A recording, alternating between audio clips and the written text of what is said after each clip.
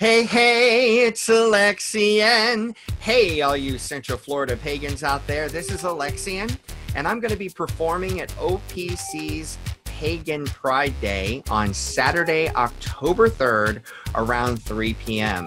I'm also going to be teaching a live chanting workshop. Now, all of this is online, it's all going to be done virtually through the internet. So, no matter where you live, you can tune in and watch. Of course, it's Florida time, so that's Eastern time. We're talking Eastern time zone.